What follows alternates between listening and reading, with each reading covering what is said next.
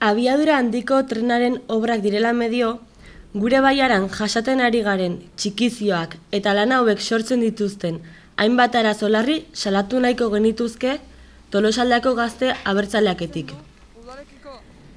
Lehenengo alarmak anoetako bi erreka lehortarazi ostean piztu ziren. Eunka amuarrain agertu ziren hilik alkiza errekan obretan izandako akats baten gandik. Lanen ondorioz, anoetako bi iturri ere agortu ziren, baita adunako iturri bat ere. Ura da gure baiarari bizia ematen dion elementua, eta agortzeak eta kutsatzeak badirudi ez duela inolako ondoriorik. Hala eta guztiz ere, atxetearen obrak aurrera jarraitu zuten. 2008ko maiatzan, adifeko hainbat funtzionario eta korsan enpresan kontratistako zuzendaritzako hainbat kide atxilotu zituzten. Tolosaldeako obretan ustelkeria sumatu ostean.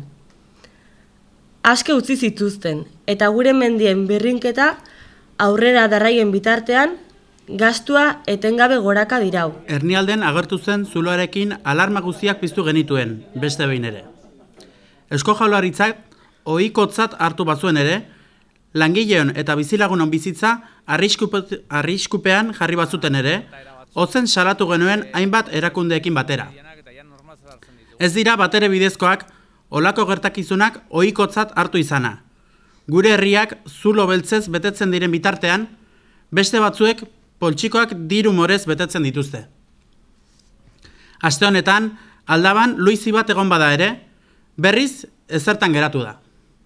Naiz eta gure baiaran ospitale publikori gabe jarraitzen badego ere, gasu sozialetan inbertitu beharko litzatezken diruak atxetean xautzen dituzte. Gazteok gure ikasketengatik gehiago ordaintzen dugun bitartean, beste batzuek dirua bero-bero daramate euren boltsikoetara.